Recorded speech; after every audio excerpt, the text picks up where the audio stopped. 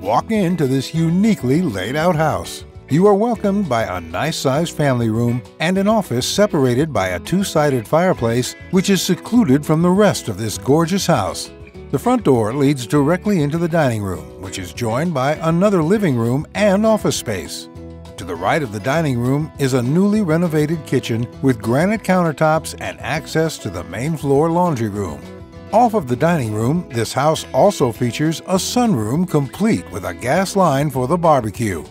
This large area can be used to spend family time together where you can watch the kids play while preparing a meal, or it would make a great place to entertain. The laundry room is directly off the kitchen for ease of access and is right beside the main floor half bath.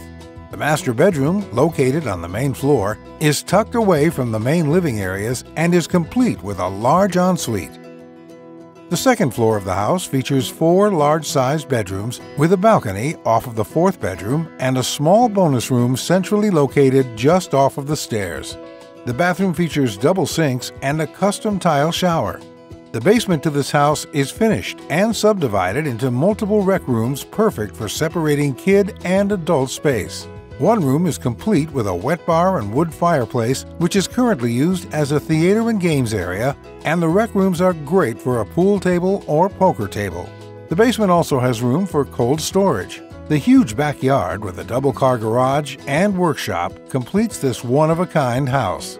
You will not find another property like this in this quiet South End neighborhood facing a park close to multiple elementary and high schools.